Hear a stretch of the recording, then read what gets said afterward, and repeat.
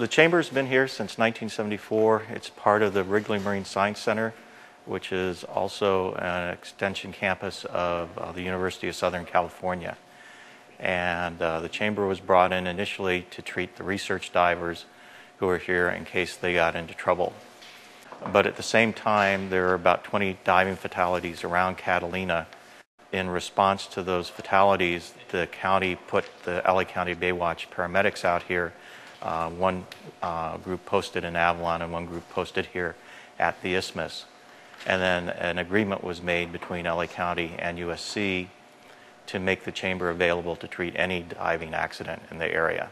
So since then, we've worked in conjunction with the Baywatch paramedics and LA County Medical Center uh, to treat emergency diving accidents in the Southern California area. I'm Captain Steve Powell, and this is uh, Baywatch Isthmus, which is the lifeguard rescue boat uh, assigned to the Isthmus area for Los Angeles County Fire Department. Uh, we're responsible for all paramedic and marine rescue activity, uh, both on land and in the water, uh, in and around the Isthmus area of Catalina Island. We work closely with the hyperbaric chamber and their crews to treat and evaluate dive emergencies. We're available in the area locally 24 hours a day, seven days a week. We are a paramedic squad with uh, firefighting capacity aboard this vessel, as well as dive rescue capabilities and uh, trained personnel and equipment.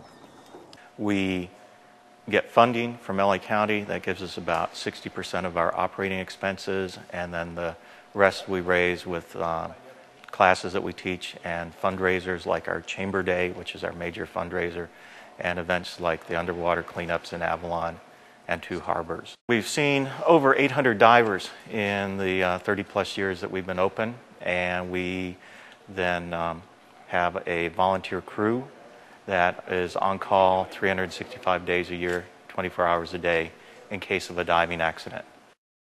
Uh, so the, the primary cases that we treat are air embolism and decompression sickness.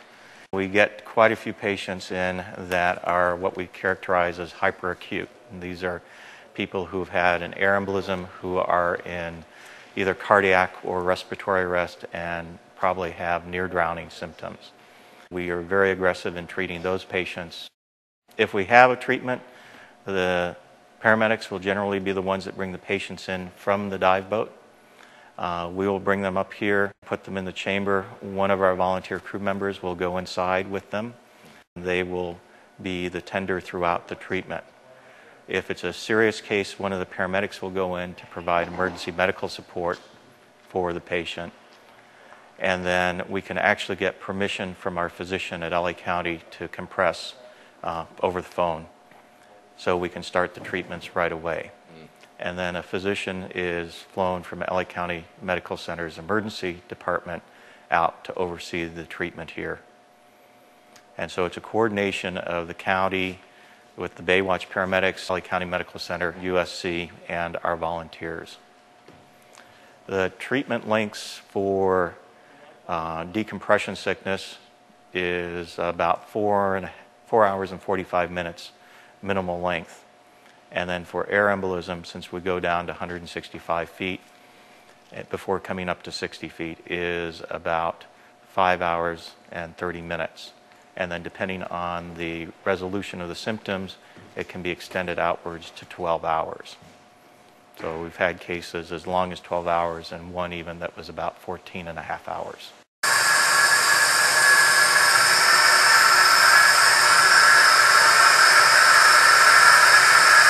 50 feet.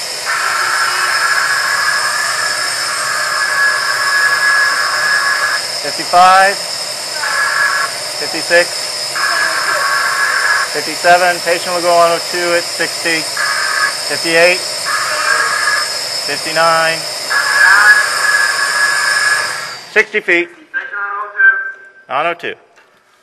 In three cases over the years, we have gotten people who have had no pulse going into the chamber, get pulse return um, upon going to depth. Uh, one, which was from Avalon, 62 minutes of uh, CPR down here, flatline, went in the chamber, got a pulse back, and two weeks later walked out of the hospital with no residuals. So it's here to treat the emergency cases.